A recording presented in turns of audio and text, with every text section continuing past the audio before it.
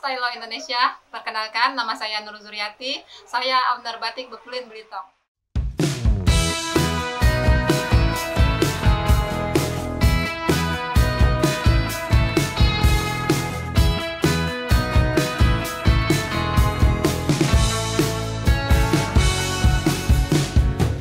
Bekulin Belitung eh, berdiri pada tanggal 4 Februari 2019 Eh, pada sejalannya waktu kita memproduksi batik tulis, ekoprint, pernak-pernik khas Belitung uh, seperti batiknya itu dibikin aksesoris, souvenir, dan kaos khas Belitung.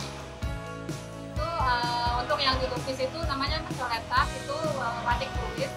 Untuk menumbuk itu itu kita ekoprint namanya ekoponding.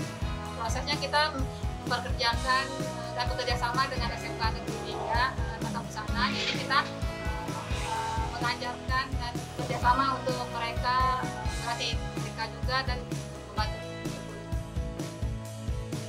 Jadi khas batik kukulin itu kita handmade buatan tangan dan uh, menggunakan pewarna alam, pewarna alam dan uh, kita ada gradasi uh, seperti pecahan.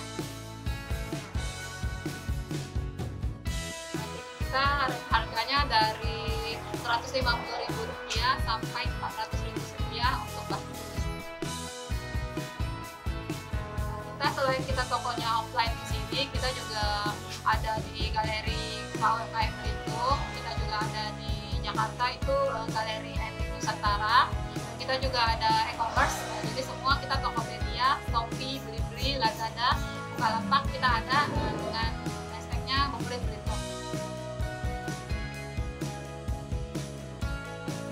masa pandemi di saat orang-orang sedang down juga kami bangkit uh, dengan menargetkan masyarakat lokal seperti pembuatan masker yang sampai puluhan ribu uh, dan pemesanan dari dinas-dinas instansi setempat membantu masyarakat sekitar untuk bekerja sama pembuatan masker uh, juga orderan. Itu kita di masa pandemi bukan mengurangi karyawan tapi menambah karyawan ke depannya sih saya pengen bisa go ekspor ya gitu. Dan udah dibantu juga dari